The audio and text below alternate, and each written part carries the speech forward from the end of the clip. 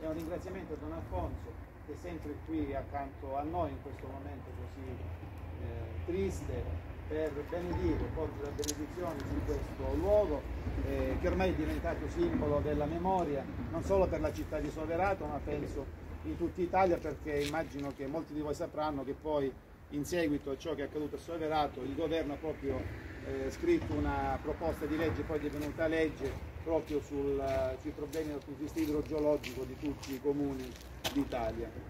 Eh, quindi grazie ancora una volta per la vostra presenza, per la stampa che diffonderà eh, questa giornata affinché appunto eventi come questo non debbano più ripetersi. Alfonso. Nel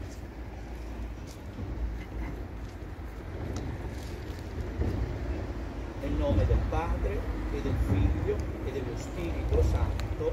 Amen.